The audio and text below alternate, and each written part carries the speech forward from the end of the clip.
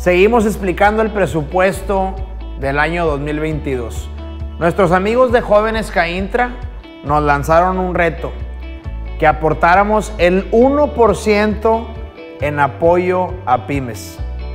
Y como siempre estamos a favor del emprendimiento y de los jóvenes, les vamos a dobletear su reto.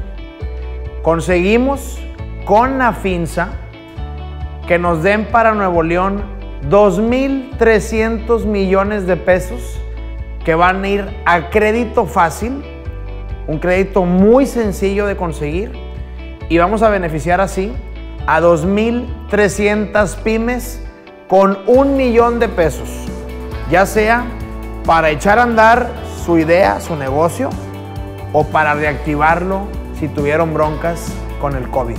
Aquí el secretario de Economía les va a explicar más el proyecto. Después del COVID, las pymes quedaron realmente afectadas y es por eso que son las que tenemos que apoyar. Y muchas veces lo que más necesitan es la parte de financiamiento. Entonces con este programa en donde el gobernador triplicó el presupuesto que antes se dedicaba a los créditos a pymes, pudimos multiplicarlo para que NAFI nos dé 2.300 millones de pesos en créditos.